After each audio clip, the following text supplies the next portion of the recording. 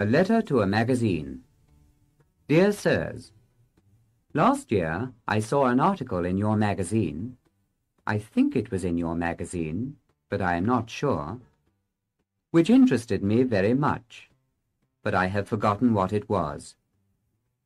I wrote the name of the article and the magazine in my notebook after I had read it, but I have lost the notebook. I have also lost the magazine which the article was in. Will you please send me another copy of the magazine, if it was your magazine? Thank you very much.